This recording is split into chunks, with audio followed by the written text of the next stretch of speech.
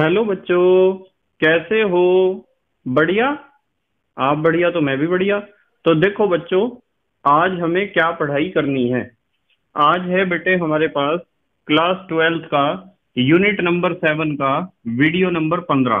तो बेटे, ये सातवीं यूनिट का पंद्रहवा वीडियो है और इससे पहले चौदह वीडियो आपको प्लेलिस्ट में भी मिल जाएँगे और नीचे बेटे डिस्क्रिप्शन में भी मिल जाएँगे और कुछ समय बाद आई बटन में भी लिंक आ जाएगा, जहाँ आप यूनिट नंबर सात को पूरा पढ़ सकते हो और अपने सुंदर से नोट्स बना सकते हो, जो एग्ज़ाम में आपकी बहुत ज़्यादा हेल्प करेंगे। ठीक है बेटे? तो आज का हमारा टारगेट क्या है? आज हम बात करेंगे सल्फ्यूरिक अम्ल या सल्फ्यूरिक एसिड के बारे में, जिसका अणुसूत्र होता है H2SO4 और हमें सल्फ्यूरिक अम्ल बनाने की सीखनी है संस्पर्श प्रक्रम। या संपर्क विधि के नाम से भी ये प्रचलित है। इसे इंग्लिश में कहते हैं बेटे कॉन्टेक्ट मेथड या कॉन्टेक्ट प्रोसेस और बहुत इंपॉर्टेंट क्वेश्चन है। और उसके बाद बेटे हम करेंगे, हमारी बुक में जो हमारे टॉपिक से रिलेटेड एनसीईआरटी के क्वेश्चन हैं, उन क्वेश्चन को हम सॉल्व करेंगे। ठीक है बेटे? तो चलो बच्चों, जल्दी से आज की पढ़ाई शुरू करते हैं।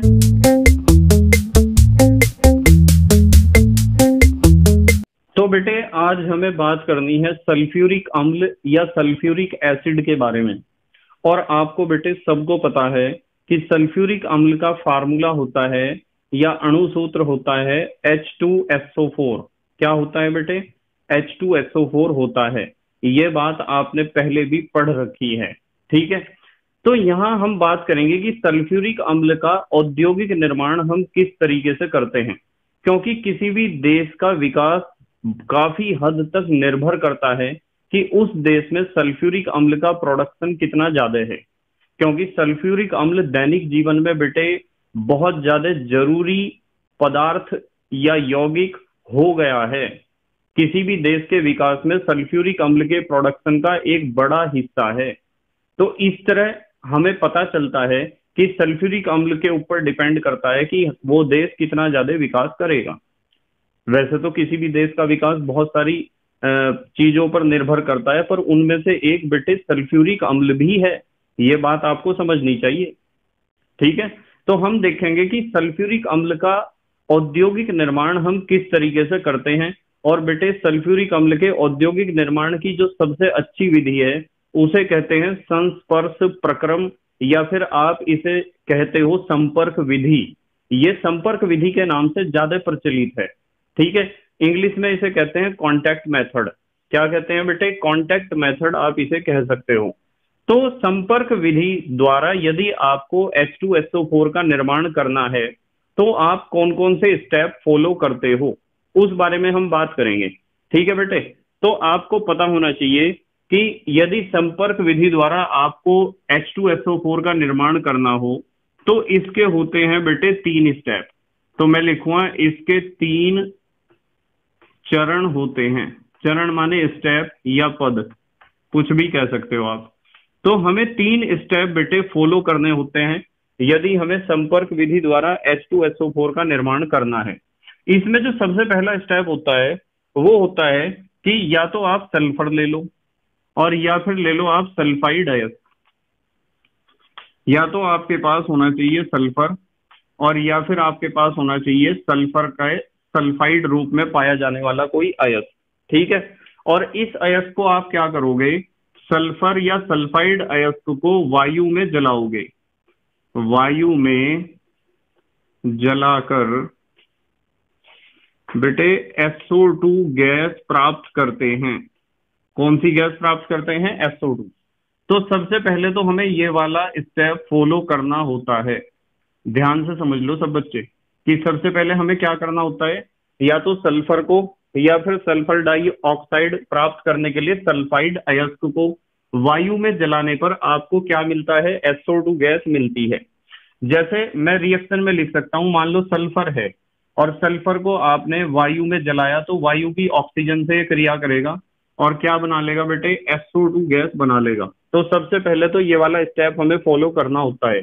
नंबर दो, दूसरा स्टेप दूसरे स्टेप में हम क्या करते हैं बेटे? ये जो हमें SO2 मिला है ना, ये SO2 SO2 का बेटे SO3 में ऑक्सीकरण करते हैं।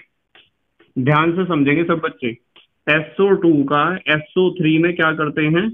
ऑक्सीकरण ये दूसरा स्टेप है जो हमें फॉलो करना होता है।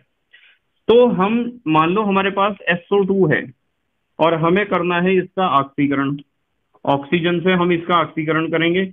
पर हमें यहाँ बात ध्यान रखनी होती है कि उत्प्रेरक प्रयोग करना पड़ता है vanadium penta oxide. Vanadium penta oxide उत्प्रेरक की उपस्थिति में क्या होता है कि SO2 जब ऑक्सीजन से रिएक्शन करता है तो ये बन जाता है SO3 सल्फ़र ट्राई ऑक्साइड ठीक है बेटे? देखो, दो सल्फ़र हैं, दो सल्फ़र हैं। ऑक्सीजन दो दूनी चार और दो छह, और दो तिया छह। तो दूसरा स्टेप में हम क्या करते हैं? SO2 का ऑक्सीकरण कर देते हैं SO3 में। और यहाँ हमें उत्प्रेरक प्रयोग करना पड़ता है वेनेडियम पेंटा ऑक्साइड V2O5 फिर उसके बाद क्या करते हैं कि ये जो हमें SO3 गैस मिलती है ना बेटे, इस SO3 को हम H2SO4 में अवशोषित करते हैं। किसमें? H2SO4 में। तो SO3 को H2SO4 में अवशोषित करके, किसमें अवशोषित करके बेटे? H2SO4 में अवशोषित करके ओलियम का निर्माण करते हैं बेटे, ओलियम। ओलियम का फार्मूला होता है H2S2O7 का निर्माण करते हैं। ध्यान से समझेंगे बेटे सब बच्चे। तो सबसे पहले हमने क्या करा है? सबसे पहले हमने सल्फ़र को जलाया है वायु में और उससे मिला है हमें SO2 गैस। फिर हमने SO2 का ऑक्सीकरण कर दिया है SO3 में। फिर हम SO3 को अवशोषित किसमें करेंगे? H2SO4 में अवशोषित करेंगे। कंसंट्रेट H2SO4 है। आप लिख सकते हो यहाँ कंसंट्रेट H2SO4 तो हमारे पास ये कंसंट्रेट H2SO4 है। और इसमें हम अवशोषित कर रहे हैं किसे बेटे? SO3 गैस को अवशोषित कर रहे हैं। यानी कि H2SO4 में SO3 गैस को घोल रहे हैं। ऐसा करने से क्या होता है? हाइड्रोजन कितने हैं? देखो, दो। ये लिख दिया मैंने, दो हाइड्रोजन। सल्फ़र कितने हैं? ये है सल्फ़र कितने बेटे? दो हैं, देखो। दो है ना? तो ये लिख दिया सल्फ़र भी दो। ऑक्सीजन देखो, चार और तीन सात। ये ऑक्सीजन सात है। देखो, ओलियम कहते हैं इसे H2S2O7 इसे कहते हैं बेटे ओलियम। ठीक है? वैसे कुछ बच्चे इसे पायरो सल्फ्यूरिक एसिड भी कहते हैं। तो ये जो ओलियम है, अब आपके दिमाग में आ रहा होगा कि सर ओलियम हमने बना लिया और हम बनाना सीख रहे हैं H2SO4 तो H2SO4 तो सर इसमें कहीं भी नहीं बना है। तो बेटे पता हम क्या करते हैं? इस ओलियम को हम इकट्ठा करते रहते हैं एक कंटेनर में, एक बर्तन में। और फिर हम क्या करते हैं कि ये जो ओलियम है ना, ये लिख रहा मैं ओलियम। हमारे पास जो ओलियम है H2 H2O7 इस ओलियम में ज़रूरत के अनुसार आप मिलाते रहते हैं पानी। क्या मिलाएँगे बेटे? पानी मिलाएँगे हम। और जब हम पानी मिलाएँगे तो क्या होगा बेटे? तो बनेगा देखो कितने हाइड्रोजन है। दो और दो चार चार हाइड्रोजन है तो क्या मैं ऐसे लिख सकता हूँ चार हाइड्रोजन को? आप कहोगे कि सर लिख सकते हैं। सल्फ़र कितने हैं? दो, ये लिख दिया सल्फ़र देखो, दो सल्फ़र हो गए। ऑक्सीजन कितने हैं? सात और एक, आठ। कितने हैं? आठ। तो क्या मैं ऑक्सीजन को ऐसे लिख सकता हूँ? देखो, दो, चौक, आठ। तो ये हमें सल्फ्यूरिक अम्ल मिलता रहता है। क्या मिलता रहता है? सल्फ्यूरिक अम्ल। और बेटे, आपकी नॉलेज के लिए एक बात बताऊँ। ये जो सल्फ्यूरिक अम्ल है, ये छियानवे परसेंट से अट्ठानवे परसेंट तक शुद्धता वाला हमें प्राप्त होता है। ये बात आपको ध्यान रखनी है। तो ये तो हुआ इसका सिद्धांत। यानी कि एग्ज़ाम में यदि आपसे कोई पूछ ले कि संस्पर्श प्रक्रम या संपर्क विधि में हम किन चरणों का प्रयोग करते हैं, या हमारा सिद्धांत क्या है इस विधि का तो सिद्धांत में तो आप इतनी बात लिखोगे जो मैंने आपको सिखाई है। बताओ, समझ में आया या नहीं आया बेटे आपके? आपको क्या लिखना है कि हमने सबसे पहले सल्फ़र या सल्फाइड अयस्क का वायु में जलाया, उसे SO2 गैस बनाई। फिर उसके बाद SO2 का हमने ऑक्सीकरण करा SO3 में। उत्प्रेरक है वेनेडियम पेंटा ऑक्साइड उसके बाद SO3 गैस जो बनी है, उसे हम अवशोषित करेंगे किसमें? H2SO4 में। उसे घोल लेंगे या अवशोषित करेंगे, जिससे हमें मिलेगा ओलियम। और फिर बेटे, ओलियम के अंदर हम घोलते रहेंगे पानी और पानी घोलने से आपको मिलता रहेगा H2SO4 या सल्फ्यूरिक एसिड। जितना प्रतिशतता का आपको चाहिए है उसके हिसाब से आप पानी उसमें घोलते रहोगे, मिलाते रहोगे। ठीक है बेटे? अब हम विधि की बात करेंगे। आप जल्दी से स्क्रीन स्क्रीनशॉट ले लो, फिर विधि की बात करेंगे हम। ले लिया बेटे स्क्रीन स्क्रीनशॉट ठीक है। तो बेटे, अब हम बात कर लेते हैं कि हमारी जो संपर्क विधि है वो वास्तविकता में किस तरीके से काम करती है। तो हम अब पूरी विधि के बारे में बात करेंगे, ठीक है? सामने बना रखा है बेटे मैंने एक डायग्राम एक चित्र बना रखा है, जिसे आप प्रवाह चित्र भी कह सकते हो और ध्यान से समझेंगे, सब बच्चे बिल्कुल ध्यान से। तैयार है ना सब? देखो जरा ध्यान से। सबसे पहले तो यदि एग्ज़ाम में इस तरह का लॉन्ग क्वेश्चन आ जाता है तो आपको सबसे पहले ध्यान रखना है कि हमें कितने चैम्बर बनाने हैं। आप उन्हें चैम्बर भी कह सकते हो कक्ष भी कह सकते हो, टावर भी कह सकते हो और स्तंभ भी कह सकते हो। इन सारी बातों का एक ही मतलब है। आप कक्ष कह दो, चैम्बर कह दो, टावर कह दो या स्तंभ कह दो, एक ही बात होती है बेटे। तो हमें देखना है कि हमें बनाने हैं एक, दो, तीन, चार, पाँच छ सात, आठ। कितने चैम्बर बनाए? आठ। तो हमें आठ बॉक्स बनाने हैं। और आठ बॉक्स में से ध्यान रखना है कि पहला, दूसरा, तीसरा, चौथा ये तो बड़े बॉक्स बनेंगे और फिर दो छोटे बॉक्स और फिर बड़े बॉक्स यानी कि आपको ध्यान रखना है कि पांचवा और छठा दो छोटे बॉक्स बनेंगे, बाकी सब बड़े बॉक्स बनेंगे, आठ बॉक्स बनाने हैं। ये चीज़ें आपको इसी तरीके से सीखनी चाहिए बेटे, जिससे एग्ज़ाम में कोई प्रॉब्लम ना हो। अब देखो, सुनो। आपको फिर पता होना चाहिए कि ये जितने भी बॉक्स हमने बनाए हैं, इनके हरेक चैम्बर का क्या क्या नाम है, हरेक स्तंभ का, कक्ष का टावर का क्या नाम है। देखो बेटे, सबसे पहले को हम कहते हैं सल्फ़र बर्नर। क्या कहते हैं? Sulphur burner. दूसरा है धूल अवक्षेपक, या इसे धूल कक्ष भी कह सकते हो। तीसरा है बेटे, धावन टावर। धावन स्तंभ भी कह सकते हो, धावन कक्ष भी कह सकते हो। ठीक है? फिर है सुस्कन टावर या सुस्कन कक्ष कह दो। फिर आर्सेनिक शोधक है, फिर परीक्षण बॉक्स है, फिर संपर्क कक्ष है, फिर है अवशोषण स्तंभ। ठीक है? अब देखो क्या करना है हमें। सबसे पहली बात मैं आपको बताता हूँ कि सल्फ़र बर्नर जो है उसमें भरा हुआ है सल्फ़र। ये क्या रख रखा है? सल्फ़र रख दो या कोई सल्फाइड अयस्क रख दो, आपकी मर्ज़ी है। चाहे तो आप सल्फ़र रखो या फिर रखो कोई सल्फाइड अयस्क, यानी ऐसा अयस्क जिसमें सल्फ़र उपस्थित हो। फिर उसके बाद धूल अवक्षेपक है। धूल अवक्षेपक में ऊपर से हम क्या डाल रहे हैं? भाप प्रवाहित कर रहे हैं। भाप तो पता है जलवाष्प। धावन टावर में ऊपर से क्या डाल रहे हैं? पानी की फुहार। ठीक है, पानी का फुहारा है जो ऊपर से डल रहा है। सुस्कन टावर में हम क्या डाल रहे हैं? ऊपर से प्रवाहित कर रहे हैं concentrate S two SO four का फुहारा। और बेटे, आर्सेनिक शोधक में हमने क्या भर रखा है? आयरन का हाइड्रोक्साइड जिसे आप फेरिक हाइड्रोक्साइड भी कह सकते हो। और बेटे, परीक्षण बॉक्स में कुछ नहीं है, ये खाली है, सिर्फ़ एक पारदर्शी बॉक्स है। इन सारे बॉक्सेस के बारे में एक्सप्लेन करूँगा। अभी तो इनका इंट्रोडक्शन करा रहा। संपर्क कक्ष में आपने भर रखा है उत्प्रेरक वेनेडियम पेंटा ऑक्साइड यहाँ, इस जगह। ठीक है बेटे? और अवशोषण स्तंभ में आप ऊपर से डाल रहे हो क्या? Concentrate S two SO four का फवारा। तो चलो, समझते हैं। सबसे पहले हम क्या करते हैं बेटे? हमारे पास जो सल्फ़र बर्नर है, इस सल्फ़र बर्नर में हम वायु यानी ऑक्सीजन गैस को भेजते हैं। ऑक्सीजन गैस को जब भेजते हैं तो वहाँ रखा होता है सल्फ़र। तो जब वो सल्फ़र ऑक्सीजन के साथ क्रिया करता है, जलता है तो बनता है SO2 क्या बनता है बेटे? SO2 SO2 गैस यहाँ से निकली, देखो बाहर। SO2 और साथ में ऑक्सीजन भी। कुछ ऑक्सीजन ऐसी है ना जिसने क्रिया नहीं करी। तो यहाँ से निकलेगा। ये पता चल गया ना आपको, सल्फ़र बर्नर में क्या हुआ? सल्फ़र बर्नर में सल्फ़र हमने यहाँ रख रखा है इसके अंदर। और बेटे, ऑक्सीजन गैस हम बाहर से प्रवाहित कर रहे हैं। तो SO2 बन जाएगा। और ये SO2 और ऑक्सीजन का मिश्रण बाहर निकलेगा और इस मिश्रण को हम प्रवाहित कर रहे हैं धूल अवक्षेपक में। किसमें? धूल अवक्षेपक में प्रवाहित कर रहे हैं। धूल अवक्षेपक में पता क्या होता है बेटे? धूल अवक्षेपक में होता है कि जब ये धूल, ये जो गैस है, गैस ऊपर की तरफ़ को उठेगी तो इस गैसीय मिश्रण में कुछ डस्ट के पार्टिकल्स भी होंगे, धूल के कण भी होंगे।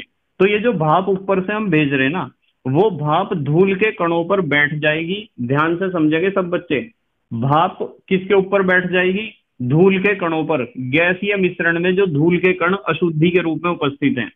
भाप उन धूल के कणों पर बैठ जाएगी और धूल के कणों को कर देगी बेटे भारी। क्या कर देगी? धूल के कणों को भारी कर देगी। जिसके कारण वे धूल के कण भारी होकर इस चैम्बर के बॉटम में या तली में बैठने लग जाएँगे ऐसे। मतलब वो जो भाप है, वो SO2 और O2 पर कोई प्रभाव नहीं डालती है। केवल धूल के कणों को भारी कर कर नीचे बैठा देती है। तो गैसीय मिश्रण में से कौन अलग हुआ? धूल के कण हुए बेटे, अलग धूल के कण। इसलिए मैंने नीचे लिखा है, माइनस माने अलग हो जाएगा धूल। धूल अलग हो जाएगा, इसलिए इसे कहते हैं धूल अवक्षेपक, और भाप इसमें प्रवाहित करी। तो धूल को यहाँ रिमूव कर दिया। अब हमारे पास जो SO2 और O2 का गैसीय मिश्रण है, उसे हमने कहा पहुँचाया? धावन टावर में या धावन कक्ष में या धावन स्तंभ में? यहाँ क्या होगा बेटे? यहाँ ऊपर से हम प्रवाहित कर रहे हैं H2O का फवारा। जल का फवारा प्रवाहित कर रहे हैं। नीचे से गैस ऊपर उठेगी और ऊपर से जल का फवारा नीचे आएगा। देखो, कुछ बच्चे कंफ्यूज होते हैं कि ये चीज़ें पत्थर क्या बना रखे हैं? बेटे, ये क्वार्ट्स के पत्थर हैं। ये पत्थर का जाल इसलिए बिछा रखा है क्योंकि गैस जब ऊपर की तरफ़ को उठेगी ना तो इनके बीच में से होके जाएगी। और पानी जब ऊपर से गिरेगा तो वो भी इनके बीच में से होके आएगा। इससे फ़ायदा ये होगा कि ज़्यादा से ज़्यादा गैस ज़्यादा से ज़्यादा पानी के संपर्क में आ जाएगी। और उससे क्या होगा तो गैस में जो ऐसी अशुद्धियाँ हैं जो पानी में घुलनशील होती हैं, गैस में गैसीय मिश्रण में जो अशुद्धियाँ ऐसी हैं जो जल में घुलनशील होती हैं, वे अशुद्धियाँ इस जल में घुल के नीचे बैठ जाएँगी। तो यहाँ जो नीचे बैठेगा, वो अशुद्धियाँ बैठ जाएँगी। कौन सी अशुद्धियाँ? जो अशुद्धियाँ जल में घुलनशील हैं। कौन सी अशुद्धियाँ बेटे? जो जल में घुलनशील हैं। इसलिए हमने कहा इसे धावन टावर, यानी कि गैसीय मिश्रण में से उन अशुद्धियों को धोकर, धावन करके अलग कर दिया गया है, जो अशुद्धियाँ जल में घुलनशील थी। अब गैसीय मिश्रण कहाँ प्रवेश कर रहा देखो, अब गैसीय मिश्रण प्रवेश करता है शुष्कन टावर में, ठीक है? शुष्कन का मतलब ड्राई करना, ड्रायर कह सकते हो आप इसे ड्रायर। शुष्कन टावर इसलिए प्रयोग किया गया क्योंकि अभी आपने गैसीय मिश्रण को पानी के अंदर से प्रवाहित किया है। तो पक्की बात है, इस गैसीय मिश्रण में कुछ नमी या कुछ जल वाष्प भी आ गई होगी। इसलिए हम अब इसे भेज रहे हैं शुष्कन टावर में। शुष्कन टावर में क्या होता है, इसे शुष्क करते हैं, ड्राई करते हैं और उसके लिए ऊपर से गिराते हैं कंसंट्रेट H2SO4 और नीचे से गैस। कंसंट्रेट H2SO4 की एक खासियत होती है कि नमी को अवशोषित कर लेता है। इस बात को दिमाग में घुसा लियो बेटे, बिल्कुल अपने। सांद्र H2SO4 के अंदर ये बहुत अच्छी खासियत है कि नमी को क्या कर लेता है? एब्जॉर्ब कर लेता है और शोषित कर लेता है। नमी को अलग कर देता है किसी भी पदार्थ से। तो जब गैसीय मिश्रण ऊपर की तरफ़ को उठेगा और concentrate S to concentrate H2SO4 नीचे की तरफ़ को गिरेगा फवारे से तो क्या होगा? Concentrate S to concentrate H2SO4 और गैस के बीच में क्रिया होगी। उससे क्या होगा कि concentrate S to concentrate H2SO4 इस गैसीय मिश्रण में से किसे अलग कर देगा? नमी को। नीचे लिख दिया मैंने माइनस माने अलग हो जाएगी। क्या हो जाएगी? नमी। नमी सारी नीचे बैठ जाएगी। अब गैसीय मिश्रण को प्रवाहित हम करेंगे। देखो, गैसीय मिश्रण कैसा हो गया? शुष्क हो गया। SO2 और O2 का तो मिश्रण है ही। अब हम इसे प्रवाहित करेंगे आर्सेनिक शोधक में। अब ये आर्सेनिक शोधक पता क्या करता है बेटे? इसके अंदर भरा होता है फेरिक हाइड्रोक्साइड और फेरिक हाइड्रोक्साइड किसे अलग करता है? आर्सेनिक ऑक्साइड को अलग करता है। तो यदि गैसीय मिश्रण में कोई आर्सेनिक ऑक्साइड की अशुद्धि है तो वो अशुद्धि यहाँ अलग हो जाएगी। आर्सेनिक ऑक्साइड की अशुद्धि देखो, माइनस माने अलग हो जाएगी। क्या उपस्थित है इसमें? Ferric hydroxide. आर्सेनिक की अशुद्धि भी अलग कर दी। अब गैसीय मिश्रण को हमने प्रवाहित करा परीक्षण बॉक्स में। परीक्षण बॉक्स बेटे, कुछ भी नहीं रिएक्शन यहाँ होने वाली है। ये तो केवल एक पारदर्शी बॉक्स है। क्या है बेटे? पारदर्शी बॉक्स और इस बॉक्स में आप क्या करोगे? कि इस बॉक्स को आप ध्यान से देखते रहोगे कि क्या गैसीय मिश्रण में कुछ अतिरिक्त कण हमें दिखाई तो नहीं दे रहे हैं। आप देखोगे कि, कि गैसीय मिश्रण में कुछ एक्स्ट्रा पार्टिकल्स तो नहीं प्रेजेंट हैं। तो यदि आपको गैसीय मिश्रण यहाँ से गुजरता हुआ बिल्कुल साफ़ दिखाई दे रहा है इसका मतलब हमारे ये सारे प्रोसेस ठीक ठाक संपन्न हो गए हैं। जो शोधन का यूनिट था उसने ठीक काम किया है। अब क्या होगा बेटे? जब परीक्षण बॉक्स से आपने चेक कर लिया, फिर हम गैसीय मिश्रण को कहा भेजेंगे? हम भेजेंगे संपर्क कक्ष में। कहा भेजेंगे बेटे? संपर्क कक्ष या कॉन्टेक्ट चैम्बर में। संपर्क कक्ष में हमारा उत्प्रेरक भरा होगा वेनेडियम पेंटा ऑक्साइड कौन सा उत्प्रेरक? वेनेडियम पेंटा ऑक्साइड उत्प्रेरक भरा होगा इस जगह पे। तो क्या होगा कि ये जो SO2 और O2 गैस जा रही है, वो वेनेडियम पेंटा ऑक्साइड उत्प्रेरक की उपस्थिति में SO3 में बदल जाएगी। यानी कि SO2 का ऑक्सीकरण हो जाएगा। किसमें बेटे? SO3 में। तो यहाँ से निकलेगी SO3 गैस। अब इस SO3 गैस को हम भेज देंगे अवशोषण स्तंभ में। कहा भेजेंगे बेटे? अवशोषण स्तंभ। अवशोषण स्तंभ में ऊपर से गिर रहा है कंसंट्रेट H2SO4 और नीचे से कौन सी गैस है? SO3 तो SO3 गैस जब कंसंट्रेट H2SO4 के साथ रिएक्शन करती है, मैंने अभी लिखाया, पीछे आपको रिएक्शन तो क्या बनता है? H2S2O7 क्या बनता है? H2S2O7 जिसे आप कहते हो ओलियम। ये ओलियम को हम बाहर निकालते रहेंगे, एक बड़े से बर्तन या कंटेनर में इकट्ठा करते रहेंगे। और बेटे, इस ओलियम में पानी मिलाते रहेंगे और आपको मिलता रहेगा सांद्र H2SO4 जितनी सांद्रता का आपको बनाना है, उसके हिसाब से आप उसमें पानी मिला सकते हो। ठीक है बेटे? तो यदि एग्ज़ाम में लॉन्ग क्वेश्चन आया है तो ये वाला आपको डायग्राम ये चित्र बनाना है। और लिखना क्या है, ध्यान से देखेंगे सब बच्चे, कि विधि में जो सबसे पहला स्टेप हमें लिखना है नंबर एक। नंबर एक तो आपको लिखना है बेटे सल्फ़र बर्नर ध्यान से समझेंगे सब बच्चे। देखो, मैंने वैसे समझा दिया, फिर भी लिखते हुए आपको और अच्छे तरीके से समझ में आएगा। सल्फ़र बर्नर ठीक है? इसमें क्या करते हैं? इसमें सल्फ़र या तो आप सल्फ़र को जलाओ, और सल्फ़र को नहीं जलाते हो तो आप सल्फ़र के किसी अयस्क, जैसे मैं कहूँ आयरन सल्फाइड ठीक है? आयरन पायराइट भी कह सकते हो यह भी ले सकते हो आयरन पायराइट को वायु में जलाकर, वायु में जलाकर SO2 प्राप्त करते हैं। तो सबसे पहले तो आपको यह काम करना है कि आप सल्फ़र को जलाओगे और कौन सी गैस प्राप्त करोगे? SO2 गैस प्राप्त करोगे। रिएक्शन आप लिख सकते हो S plus O two is equal to SO two और यदि आपको ये वाला रिएक्शन नहीं लिखना है आयरन पायराइड का लिखना है तो वो भी लिख सकते हो। Four F P S two plus eleven O two देखो, यहाँ भी तो हम ऑक्सीजन के साथ ही क्रिया कर रहे हैं और यहाँ भी ऑक्सीजन के साथ क्रिया कर रहे हैं। तो बेटे, यहाँ बनेगा two F C two O three plus eight SO two साथ में क्या बनेगा प्लस एट एसओ टू ये चीज़ें यहाँ बनेगी बेटे। तो आपको पता होना चाहिए कि एसओ टू गैस यहाँ भी बनी है और यहाँ भी बनी है। यदि ये वाला रिएक्शन आपको मुश्किल लग रहा है तो आप केवल एग्ज़ाम में पहला रिएक्शन लिख सकते हो। S plus O two is equal to SO two तो यहाँ से निकली हमारी एसओ टू गैस और ऑक्सीजन अब दूसरा चैम्बर बताओ क्या है? दूसरा चैम्बर है बेटे धूल कक्ष। यही तो है बेटे। क्या है धूल कक्ष? मुझे बताओ धूल कक्ष में क्या होता है? धूल कक्ष में भाप द्वारा धूल के कणों को भारी करके अलग कर दिया जाता है। तो हम लिखेंगे इसमें, भाप द्वारा गैसीय मिश्रण में उपस्थित, भाप द्वारा गैसीय मिश्रण में उपस्थित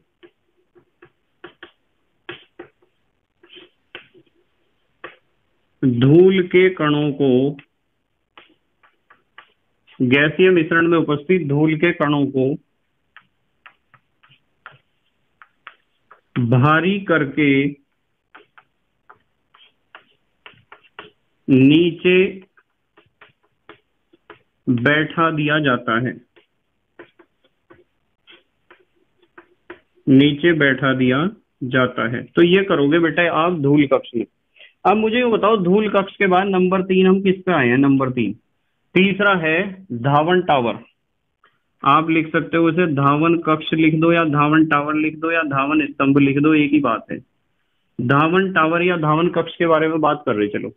इसमें क्या कर रहे हम? जल के फुआरे द्वारा या जल द्वारा गैसीय मिश्रण में उपस्थित, लिख दू जरा मैं यहाँ ध्यान से देखियो। जल द्वारा गैसीय मिश्रण में उपस्थित, जल द्वारा गैसीय मिश्रण में उपस्थित जल में घुलनशील, जल में घुलनशील अशुद्धियों को जल में घुलनशील अशुद्धियों को अलग कर लिया जाता है। बताओ समझ में आ रहा क्या? मतलब जो अशुद्धियाँ जल में घुलनशील होती हैं, उन्हें अलग करेंगे हम किसके द्वारा? धावन टावर के द्वारा। और बेटे, नंबर चार बताना क्या है? नंबर चार, एक, दो, तीन, चार सुस्कन टावर। आप इसे सुस्कन कक्ष या सुस्कन स्तंभ भी लिख सकते हो। बताओ सुस्कन कक्ष में ऊपर से क्या डाल रहे concentrate S two SO four का फवारा डाल रहे ना? तो हम लिखेंगे इसमें concentrate S two SO four द्वारा नमी को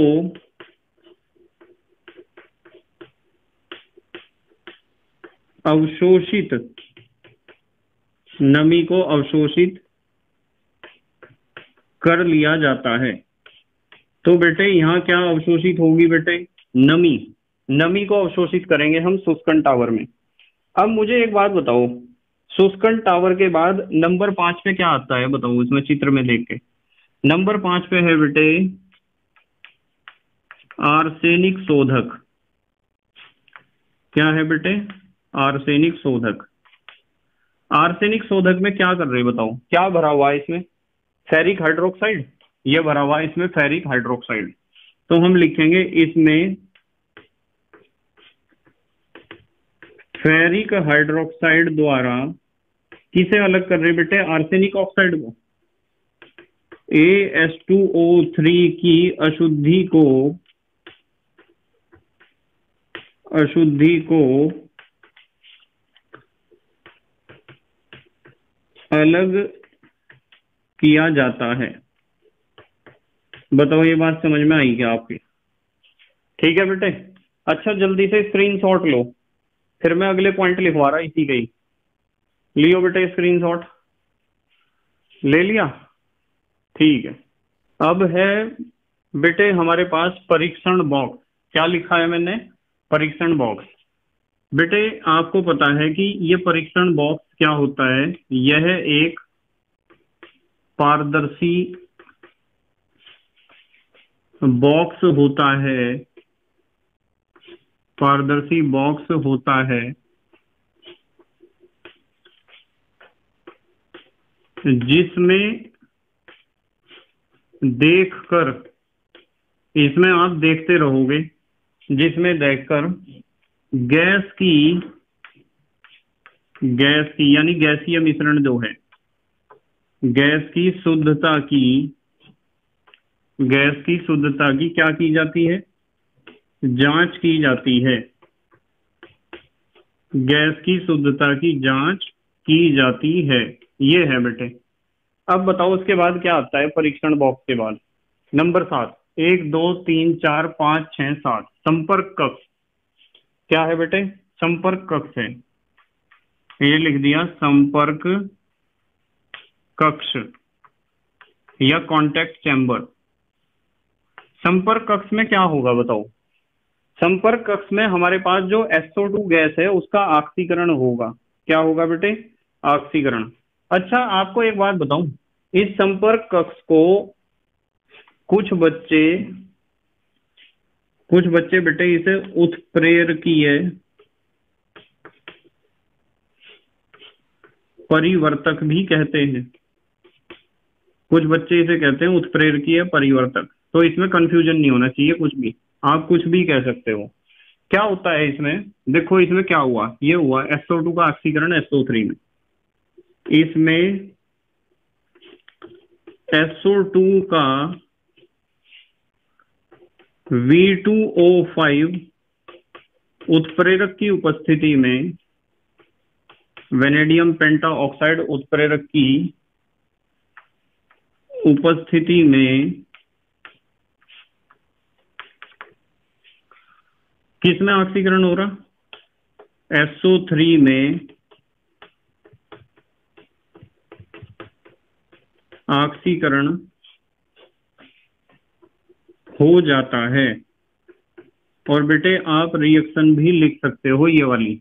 लिख सकते हो two SO two plus O two is equal to two SO three और यहाँ एरो के ऊपर आपको दिखाना है V two O five vanadium penta oxide उत्प्रेरक। अब हम आगे अपने लास्ट चैम्बर पे नंबर आठ। नंबर आठ क्या है देखो? अवशोषण स्तंभ है। हम लिखेंगे अवशोषण स्तंभ के बारे में। अवशोषण स्तंभ, या अवशोषण टावर, या अवशोषण कक्ष, कुछ भी कह सकते हो आप। तो आपको अब कौन सी गैस मिल गई एसओ थ्री अब क्या होता है कि इसमें एसओ थ्री का अवशोषण एसओ थ्री को किसमें घोल रहे बताओ? Concentrate H two SO four में करके concentrate S two SO four में कर रहे हैं ना? क्या बनता है? ओलियम। ओलियम का फार्मूला होता है H two S two O seven बनाया जाता है। ठीक है बेटे? कैसे बनाया जाता है? देख लो। ये हमारे पास है एच टू एसओ फोर और हमने इसमें अवशोषित करा एसओ थ्री गैस को। क्या होगा बताओ? एच तो दो हैं एस भी तो दो हो गए एक और एक दो। और ऑक्सीजन कितने हो गए सात। चार और तीन, सात। ये बन गया आपका ओलियम। अब आप क्या करोगे बताओ अच्छा? क्या करोगे बताओ? अब आप ओलियम में ओलियम में जल मिलाकर, ओलियम में क्या मिलाओगे बेटे? जल। ओलियम में जल मिलाकर, इसे H2SO4 में बदल लेते हैं। जितना चाहिए उतना H2SO4 बनाते रहो आप। जैसे ओलियम है H2S2O7 इसमें आप पानी मिलाओ H2O पानी मिलाने से क्या होगा? देखो कितने H हैं, चार तो मैं लिख सकता हूँ, ये चार H लिख दिया मैंने। सल्फ़र कितने हैं? दो। ये लिख दिए दो सल्फ़र, देखो दो सल्फ़र। ऑक्सीजन कितने हैं? सात और एक आठ। ये लिख दिया आठ ऑक्सीजन दो चौक आठ तो एस टू एसओ फोर मिलेगा। बस आपको ये ध्यान रखना है कि छियानवे से अट्ठानवे परसेंट तक का आपको एच टू एसओ फोर इससे मिल जाता है। ठीक है बेटे? तो आपको समझ में तो आया होगा मेथड क्या है, किस तरीके से काम करता है। जल्दी से बेटे अच्छा स्क्रीन शॉट लो, फिर हम अगली बात करेंगे। स्क्रीन शॉट लो बेटे। ले लिया स्क्रीन शॉट ठीक है।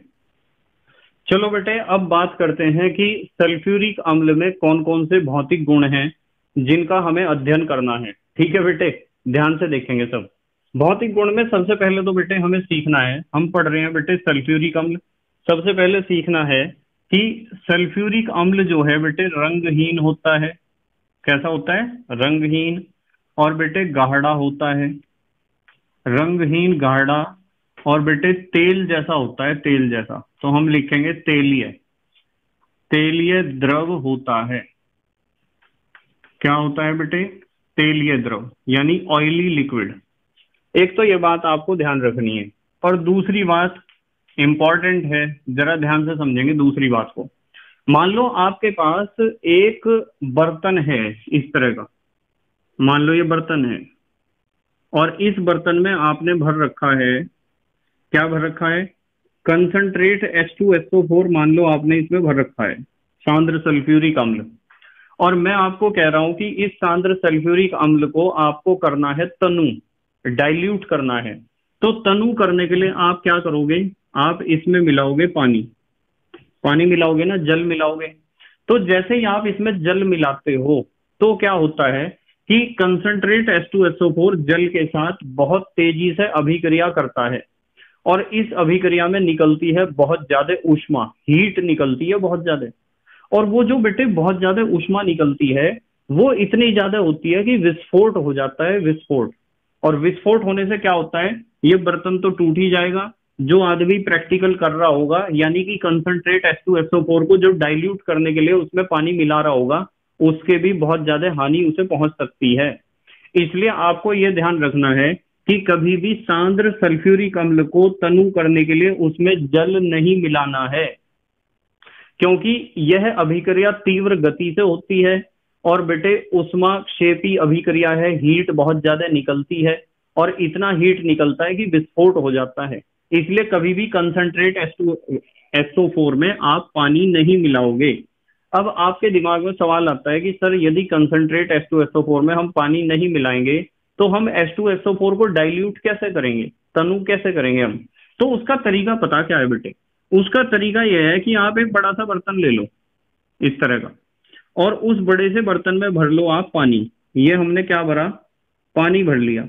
पर एक शर्त है, ये पानी जो है, एक तो ठंडा होना चाहिए। अधिक मात्रा में तो होना ही चाहिए और ठंडा होना चाहिए। ठंडा हो और अधिक मात्रा में हो। इस तरह आप पानी को एक बड़े बर्तन में लोगे और बेटे, उस पानी में मिलाओगे concentrate S two SO four क्या मिलाओगे? Concentrate S two SO four बूंद बूंद करके थोड़ा थोड़ा मिलाओगे और इसे हिलाते रहोगे। ऐसा करने से क्या होगा, जब आप थोड़ा थोड़ा मिलाओगे तो रिएक्शन ज़्यादा मात्रा में नहीं होगी हीट तो अब भी निकलेगी, पर आपने पानी बहुत ज़्यादा मात्रा में ले रखा है और ठंडा ले रखा है। और आपको पता है कि जल की विशिष्ट उष्मा होती है, बहुत अधिक। फिजिक्स में आपने पढ़ा होगा। तो जल इतनी उष्मा को तो अपने अंदर सहेज सकता है, वहाँ प्रॉब्लम नहीं आएगी। तो इसलिए आपको सांद्र H2SO4 में पानी नहीं मिलाना है। पानी में सांद्र H2SO4 मिलाना है थोड़ा थोड़ा मिलाना है बूंद बूंद करके मिलाना है, ठंडे पानी में, ज़्यादा पानी में मिलाना है और उसे हिलाते रहना है। इस तरीके से आप इसका डाइल्यूशन करोगे। समझ में आई बात? तो अब इस बात को आपको ध्यान रखना है। तो हम लिखेंगे कि कंसंट्रेट H2SO4 में जल मिलाने पर, जल मिलाने पर एक उष्माक्षेपी, यानी जिसमें उष्मा निकलती हो, एक उष्माक्षेपी अभिक्रिया संपन्न होती है। उष्माक्षेपी अभिक्रिया क्या होती है बेटे? संपन्न होती है। जिसमें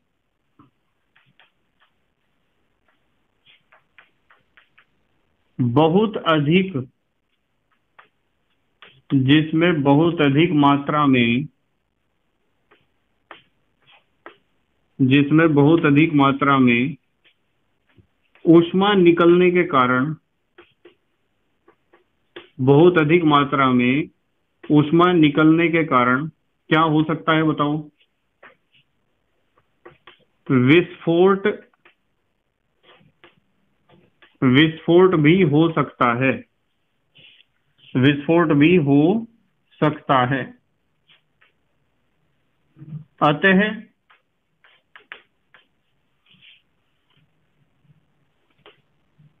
तनुकरण के लिए, तनुकरण तो समझ रहे हैं आप डाइल्यूशन कंसंट्रेट को डाइल्यूट में कन्वर्ट करना हो, सांद्र को तनु में बदलना हो। अतः तनुकरण के लिए सांद्र H2SO4 में जल नहीं मिलाना चाहिए। ठीक है बेटे? मतलब सांद्र H2SO4 में पानी नहीं मिलाना चाहिए। जल नहीं मिलाना चाहिए। अपितु ठंडे जल को, ठंडे जल को अधिक मात्रा में लेकर, जैसे यहाँ करा हमने, ठंडे जल को अधिक मात्रा में लेकर, आप ठंडे जल को अधिक मात्रा में लो। ठंडे जल को अधिक मात्रा में लेकर उसमें धीरे धीरे, उसमें धीरे धीरे क्या मिलाना चाहिए? कंसंट्रेट H2SO4 मिलाना चाहिए। उसमें धीरे धीरे कंसंट्रेट H2SO4 मिलाना चाहिए। तथा उसे हिलाते रहना चाहिए। बस ये चीज़ आपको ध्यान रखनी है, क्योंकि पेपर में ये क्वेश्चन बेटे बहुत ज़्यादा पूछा जाता है। ध्यान रखोगे ना सब इस क्वेश्चन को बेटे बिल्कुल ध्यान रखना है आपको। अच्छा एक और बताता हूँ, बहुत अच्छी बात। नंबर तीन। बेटे H2SO4 जो होता है ना, उसमें बनते हैं बेटे हाइड्रोजन बॉन्ड। H2SO4 के अणुओं के बीच हाइड्रोजन बॉन्ड बनते हैं। तो हाइड्रोजन बॉन्ड बनने के कारण क्या प्रभाव पड़ता है? हाइड्रोजन बॉन्ड बनने के कारण बेटे H2SO4 का क्वथनांक जितना होना चाहिए, उससे अधिक होता है बेटे। यानी आवश्यकता से अधिक। और कितना होता है? वो होता है बेटे 611 केल्विन के लगभग। ये चीज़ आपको ध्यान रखनी है। पेपर में क्वेश्चन आ सकता है कि H2SO4 जो है, उसका क्वथनांक होना तो चाहिए था कम, पर जितना होना चाहिए था उससे अधिक क्यों होता है? यानी कि 611 केल्विन क्यों होता है H2SO4 का क्वथनांक? तो आप सिंपल सा आंसर दोगे, क्योंकि H2SO4 में पाए जाते हैं हाइड्रोजन बॉन्ड हाइड्रोजन बंद। और वे हाइड्रोजन बंद H2SO4 के दो अणुओं के बीच पाए जाते हैं। जिसके कारण H2SO4 के अणु आपस में बंधे रहते हैं उन हाइड्रोजन बॉन्ड्स के कारण, और वो आसानी से वाष्पित नहीं हो सकता है। कौन बेटे? H2SO4 अच्छा जल्दी से स्क्रीनशॉट लो, फिर रासायनिक गुणों के बारे में सीख रहे चलो। ले लिया बेटे स्क्रीनशॉट ठीक है। देखो बेटे, अब हमें सीखने हैं H2SO4 के रासायनिक गुण। बड़े ध्यान से समझेंगे सब बच्चे। और नंबर एक पे जो हमें रासायनिक गुण सीखना है, वो है अम्लीय प्रकृति। क्या है बेटे? अम्लीय प्रकृति। तो अम्लीय प्रकृति में आपको क्या ध्यान रखना है कि मान लो आपके पास H2SO4 है। सल्फ्यूरिक एसिड है आपके पास। और आपने क्या करा है? सल्फ्यूरिक एसिड को घोल दिया है पानी में। किसमें घोल दिया है बेटे? पानी में घोल दिया है। तो पानी में घोलने से क्या होता है?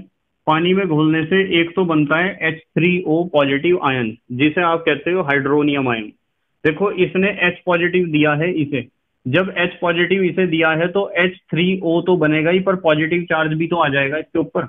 और साथ में क्या बनता है बेटे? यहाँ क्या बचा बताओ? H तो एक ही बचा H S two four negative तो पहला स्टेप तो ये होता है। और दूसरा स्टेप क्या होता है बेटे? दूसरा स्टेप ये होता है कि ये जो एच एसओ फोर नेगेटिव है, ये भी तो जल के साथ क्रिया करेगा बेटे। और जल के साथ क्रिया करके ये क्या करेगा? ये भी अपना एच पॉजिटिव आयन इसे देगा। और यहाँ फिर दोबारा से बनेगा S three O positive plus साथ में यहाँ क्या बनेगा? एसओ फोर के ऊपर आ जाएँगे दो इकाई ऋण आवेश पर बेटे, बात यहाँ तक ही सीमित नहीं है। असली बात तो अब स्टार्ट होगी।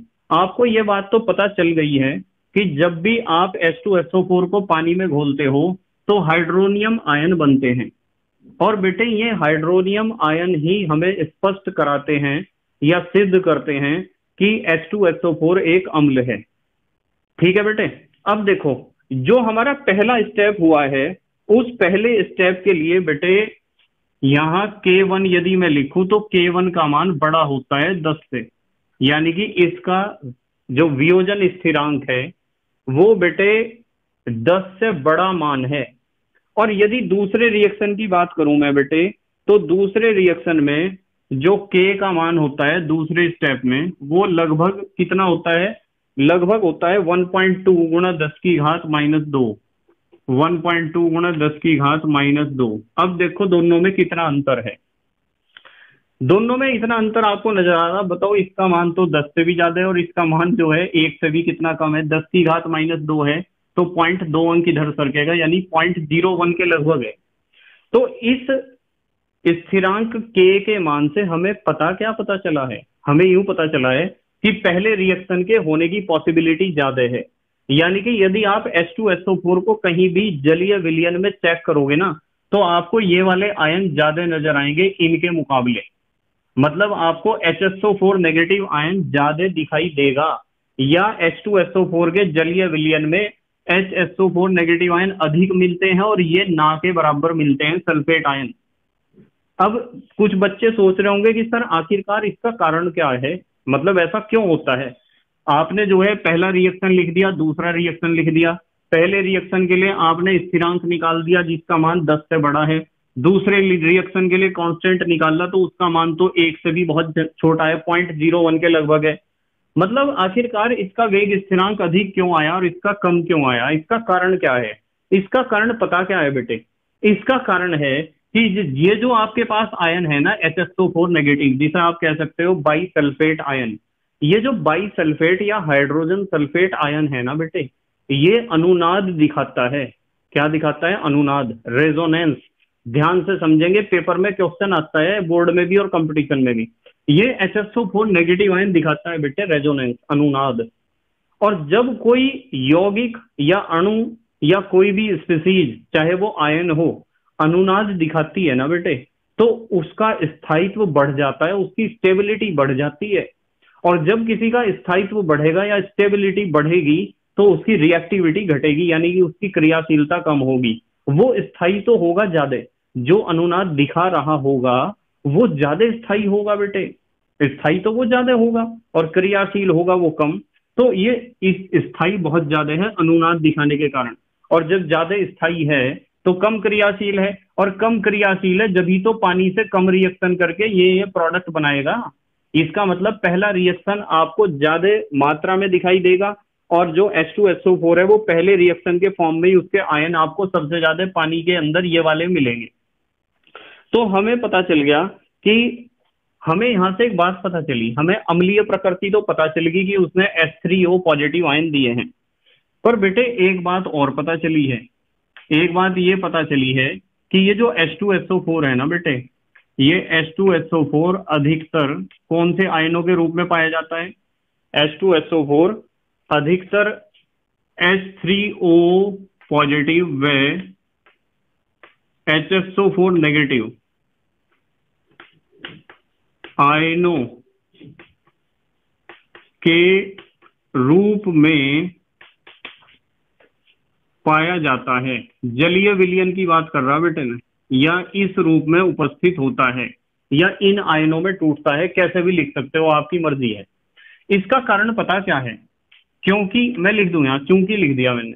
क्योंकि H SO four negative ion ये जो पहले रिएक्शन में जो हमारा प्रोडक्ट बना है H SO four negative ion बेटे अनुनादी स्थायित्व दिखाता है।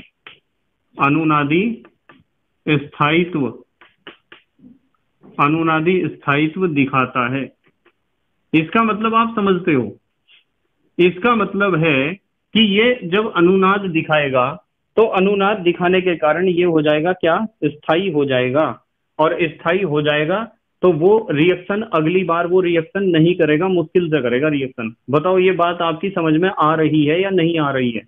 आनी चाहिए बेटे, क्योंकि एग्ज़ाम में ये आएगी बात। ध्यान रखना है आपको कि ये वाला रिएक्शन ज़्यादा पॉसिबिलिटी है, इसकी इतनी पॉसिबिलिटी नहीं है। ठीक है? अच्छा चलो दूसरा रासायनिक गुण देख रहे पहला तो हमने देख लिया अम्लीय प्रकृति। अम्लीय प्रकृति में हमें और भी बहुत सारी बात सीखने को मिली है। अम्लीय प्रकृति स्पष्ट हुई है कि इसने दिए हैं एस पॉजिटिव आयन ठीक है बेटे? हाइड्रोनियम आयन अच्छा दूसरे नंबर पे जो हमें गुण पढ़ना है, वो है अधिक वाष्पशील ध्यान से समझिए जरा। अधिक वाष्पशील अम्लों का निर्माण कि H2SO4 से आप अधिक वाष्पशील अम्लों का निर्माण भी कर सकते हो। ऐसे एसिड्स का निर्माण कर सकते हो जो बहुत ज़्यादा वाष्पशील होते हैं। ठीक है? कैसे कर सकते हो? देखो मान लो आपके पास किसी धातु का हेलाइड है। एक्स का मतलब तो आप समझते हो। एक्स यहाँ एम का मतलब पता क्या है? एम का मतलब तो है metal M E T A L metal माने धातु। और एक्स का मतलब है हेलोजन पता है ना हेलोजन का? जैसे F C L B R I मैंने सिखाया था ना, फूल कली बाहर आई। सिखाया था ना बेटे? एम का मतलब मेटल है और एक्स का मतलब होता है हेलोजन जैसे फ्लोरीन क्लोरीन ब्रोमीन आयोडीन तो मैं आपको कह रहा कि मान लो आपके पास मेटल का कोई हेलाइड है, धातु का कोई हेलाइड है, दो अणु लिए और इसका रिएक्शन हम कर रहे हैं बेटे H2SO4 के साथ। देखो, मैंने H2SO4 की संरचना थोड़ी खोल के लिखी है यहाँ। तो ऐसा करने से पता क्या होता है? यहाँ से तो हेलोजन परमाणु और यहाँ से हाइड्रोजन परमाणु ऐसे निकल जाते हैं। तो हमारे पास कितने HX बने, बताओ? हमारे पास बने, दो बने HX अब HX का मतलब समझते हो? एच का मतलब जैसे H hydrogen fluoride H hydrogen chloride भाई एक्स की जगह एफ़ भी आ सकता है C L B B R B और आई भी आ सकता है।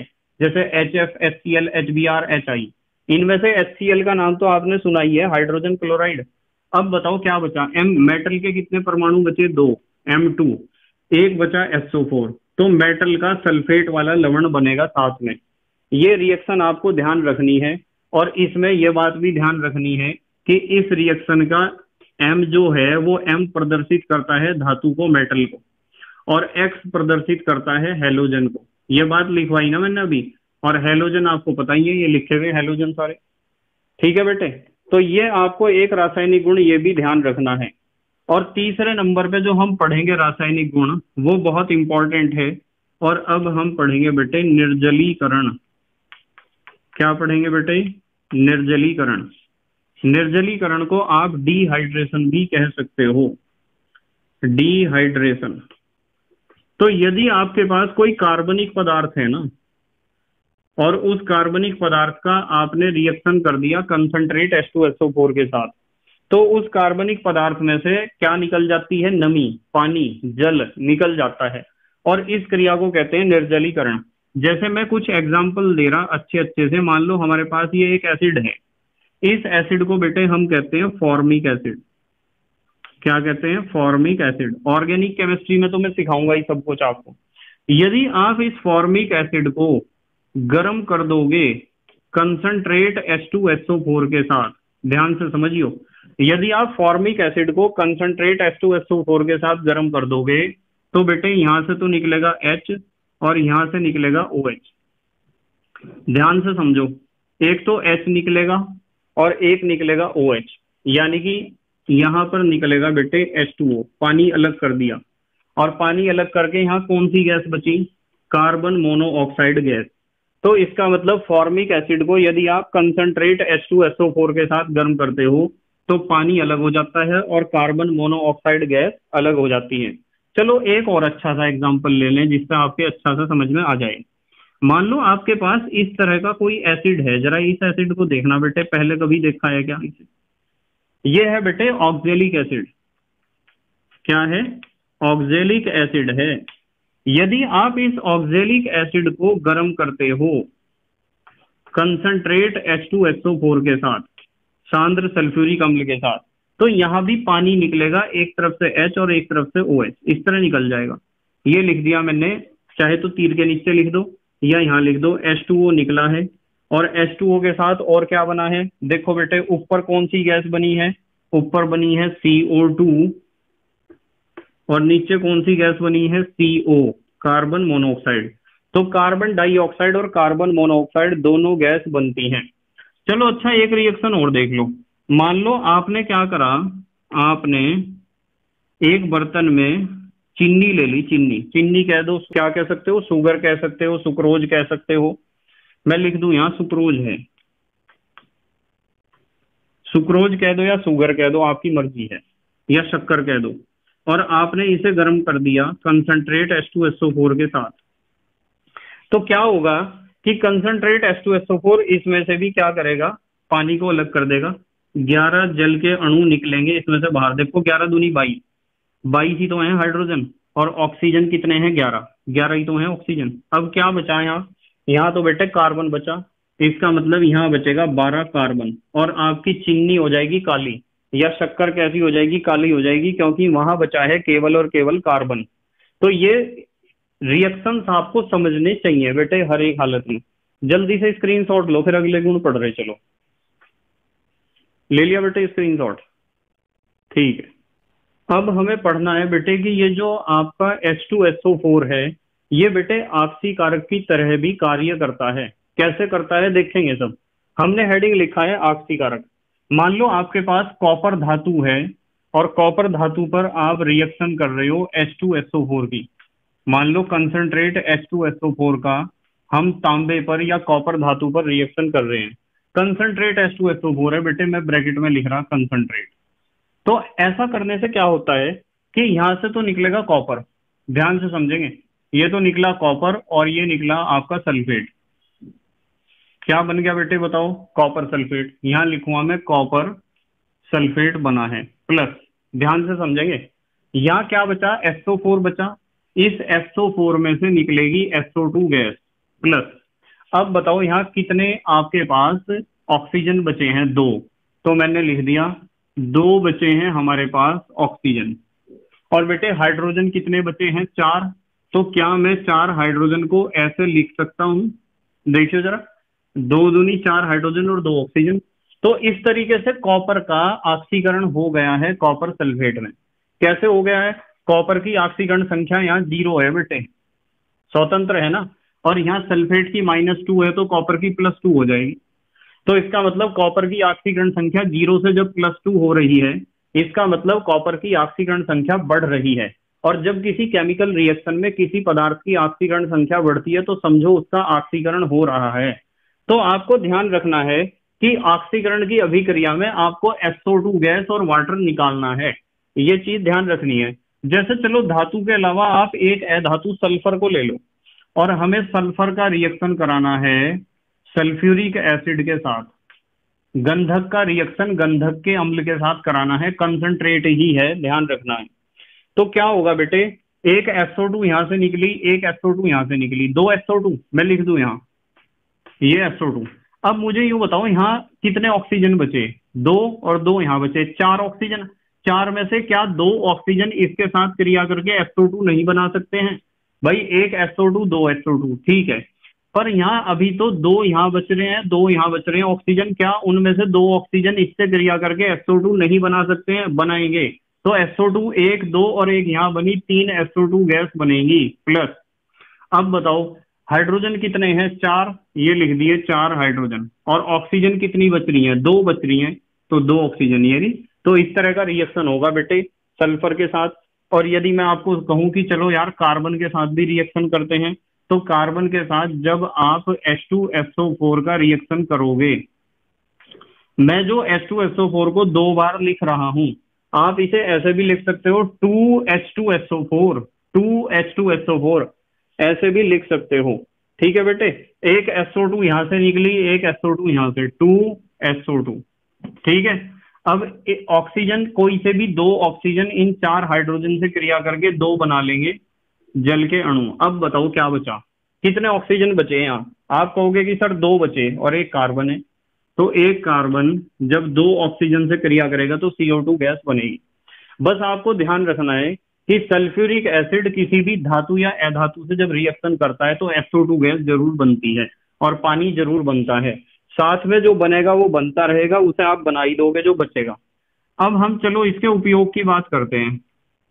कि सल्फ्यूरिक अम्ल का दैनिक जीवन में कहाँ कहाँ उपयोग है? उपयोग में बेटे सबसे पहले तो आपको ध्यान रखना है कि उर्वरकों के निर्माण में। उर्वरक तो आप समझते हो। उर्वरक कहते हैं बेटे रासायनिक खाद को। तो एक तो इसका उपयोग है उर्वरकों के निर्माण में। बहुत सारे उर्वरक ऐसे हैं जो H2SO4 से बनाए जाते हैं। ठीक है? जैसे मैं आपको कहूँ कि चलो अमोनियम सल्फेट की बात कर रहे हैं अमोनियम सल्फेट। अमोनियम सल्फेट एक ऐसा उर्वरक है जो सल्फ्यूरिक एसिड द्वारा बनाया जाता है। और बेटे, एक उर्वरक बहुत ज़्यादा फ़ेमस है, उसे कहते हैं सुपर फास्फेट सुपर फास्फेट ये सुपर फास्फेट भी बेटे H2SO4 से ही बनाया जाता है। ये ध्यान रखना है आपको। और बेटे, एक और बहुत बढ़िया बात बताऊँ, एक इसका उपयोग है पेट्रोलियम के शोधन में। जो पेट्रोलियम होता है ना, जिसे आप कहते हो कच्चा तेल या चट्टानी तेल, उसके शोधन में भी हम H2SO4 का प्रयोग करते हैं। ये बात आपको पता होनी चाहिए कि पेट्रोलियम के शोधन में भी हम इसका उपयोग करते हैं। और बेटे, एक बात और बताता हूँ कि अपमार्जक के रूप में भी इसका प्रयोग करते हैं। अपमार्जक उद्योग में लिख दो। अपमार्जक बनाने की जो फैक्ट्रियाँ होती हैं, उनमें भी H2SO4 का प्रयोग किया जाता है। ठीक है बेटे? अच्छा H2SO4 का प्रयोग बेटे धातु कर्म में भी करते हैं। धातु कर्म वाला पार्ट तो पढ़ लिया आपका मेटलर्जी आपने पढ़ लिया ना? अच्छा एक आपके घरों में रखा होगा इन्वर्टर का बैटरा, जिसे आप कहते हो सीसा संचायक सेल या लेड स्टोरेज बैटरी तो संचायक बैटरी में जो एसिड डलता है, वो बेटे सल्फ्यूरिक एसिड ही होता है। ये बात आपको ध्यान रखनी है। और एक उपयोग ऐसा है जिसे आप कहीं भी लिख सकते हो।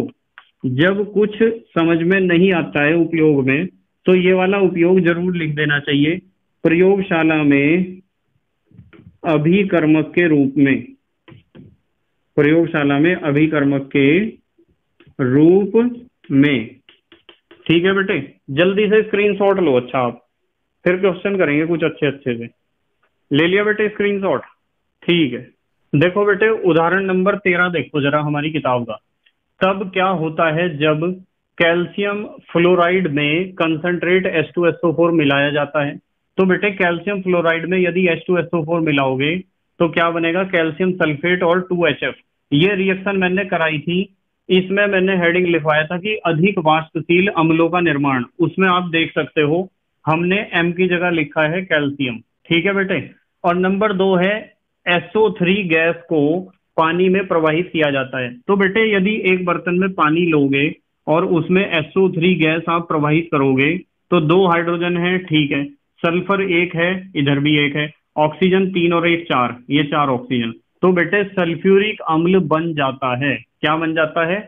H2SO4 अब पाठ्य नीति का तेईसवा क्वेश्चन है उन तीन क्षेत्रों का उल्लेख कीजिए, जिनमें H2SO4 का महत्वपूर्ण भूमिका निभाता है।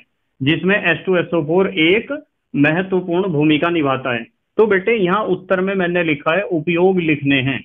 हमें लिखने हैं H2SO4 के उपयोग, और इन्होंने कहा है तीन क्षेत्रों, यानी कि कोई से तीन उपयोग आप लिख सकते हो। अब पाठ्य निहित का चौबीसवा क्वेश्चन जरा इंपॉर्टेंट है, ध्यान से देखेंगे। संस्पर्श प्रक्रम द्वारा H2SO4 की मात्रा में वृद्धि करने के लिए आवश्यक परिस्थितियों का लिखिए कौन कौन सी परिस्थितियाँ हमें चाहिए यदि आपको H2SO4 का ज़्यादा प्रोडक्शन करना है तो बेटे जब हम H2SO4 बनाते हैं तो H2SO4 के विधि में हमने लिखे हैं मुख्य रूप से तीन या चार रिएक्शन लिखे हैं इसका मतलब H2SO4 का बनना कोई सरल अभिक्रिया नहीं है वो एक जटिल अभिक्रिया है आपको पता है कि जटिल अभिक्रिया उन अभिक्रियाओं को कहते हैं जिसमें एक से ज़्यादा पद होते हैं, एक से ज़्यादा स्टेप होते हैं। और हमें छांटना होता है उन पदों में से वो पद जिसका वेग सबसे कम होता है, क्योंकि slowest step is the rate determining step सबसे धीमा पद या सबसे मंद पद ही वेग निर्धारक पद होता है। यदि आपको सल्फ्यूरिक एसिड ज़्यादा बनाना है, उसका यील्ड ज़्यादा चाहिए आपको आपको उसका उत्पादन ज़्यादा करना है तो आपको उन सारे स्टेप्स में से वो स्टेप पकड़ना पड़ेगा जिसका स्पीड स्लोएस्ट हो, और उस स्पीड का आपको, उस रिएक्शन का, उस स्टेप का आपको वेग बढ़ाना पड़ेगा। तो वो स्टेप होता है बेटे ये वाला। कौन सा होता है कि जब SO2 का ऑक्सीकरण होता है SO3 में, ये स्लोएस्ट स्टेप है तो इसका मतलब यही रेट डिटरमाइनिंग स्टेप है, और इसमें निकलती है उष्मा। एक किलो जूल प्रति मोल और उत्प्रेरक प्रयोग होता है वेनेडियम पेंटाऑक्साइड तो हम उन सारे रिएक्शंस को ना देखते हुए केवल इसी रिएक्शन पे फोकस करेंगे। इसलिए फोकस करेंगे क्योंकि इस स्टेप का वेग सबसे कम है, इसका स्पीड सबसे कम है। और किसी जटिल अभिक्रिया में जिस अभिक्रिया का या जिस पद का वेग सबसे कम होता है वो ही वेग निर्धारक पद होता है। अभिक्रिया का वेग, पूरी जटिल अभिक्रिया का वेग उसी पद पर निर्भर करता है। अब आ जाओ आप। तो अधिक उत्पादन के लिए नंबर एक सबसे पहले क्या इलाज करना पड़ेगा? वेनेडियम पेंटाऑक्साइड उत्प्रेरक का प्रयोग करते हैं। B2O5 यूज़ करोगे स्पीड ज़्यादा होगा इस रिएक्शन का। और इसका रिएक्शन का स्पीड ज़्यादा होगा तो पूरा ही रिएक्शन जो जटिल अभिक्रिया हमारा है H2SO4 बनने का, उसका स्पीड बढ़ जाएगा।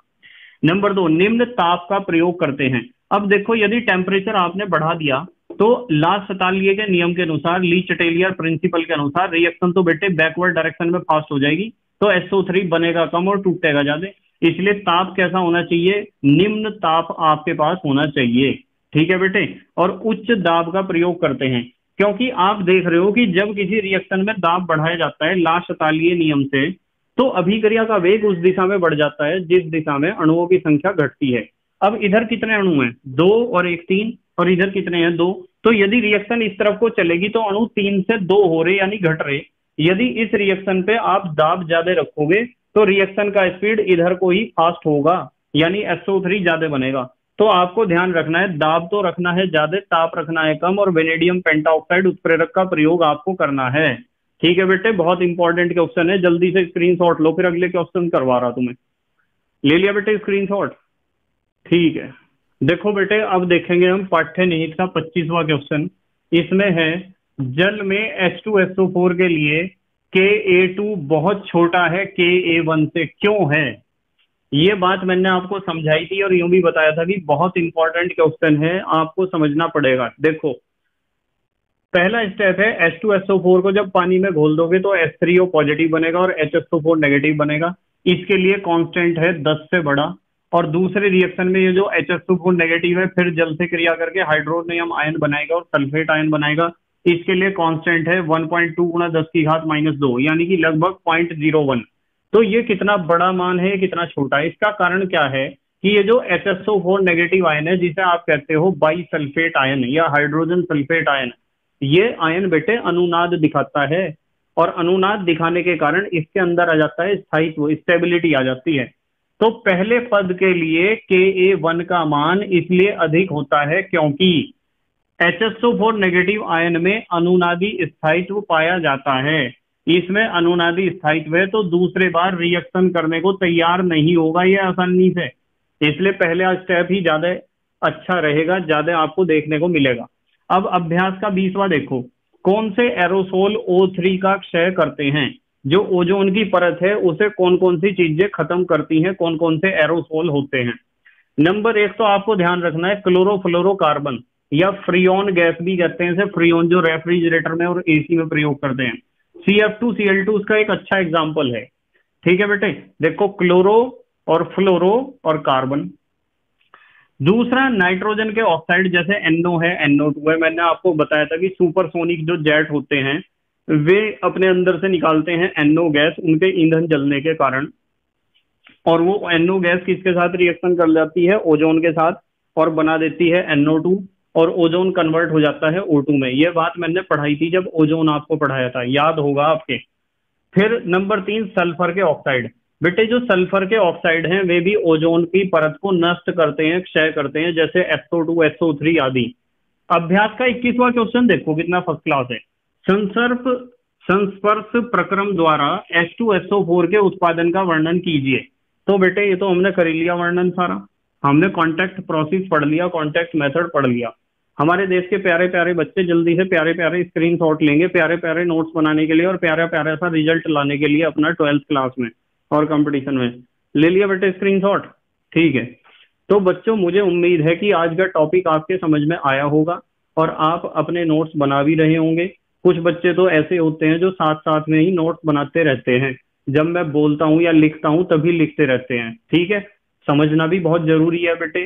नोट्स जो बना सकते हो साथ साथ तो बनाते रहा करो और नहीं तो स्क्रीनशॉट लेके जब वीडियो कंप्लीट हो जाता है, फिर लिख लिया करो। ठीक है बेटे? जैसा आपको अच्छा लगे। बस बेटे प्ले लिस्ट के अनुसार ही अपनी पढ़ाई करो और अपने नोट्स बनाओ। किसी भी टॉपिक को छोड़ना नहीं है। कोई भी बच्चा शॉर्टकट नहीं लेगा बिल्कुल भी। और पढ़ाई में जितनी मेहनत करोगे, भविष्य बेटे आपका उतना ही अच्छा होने वाला है। ठीक है? देर तो ज़रूर लगेगी, पर अंधेर नहीं होने की बिल्कुल भी। ध्यान रखना है। तो thank you very much for watching this video okay bye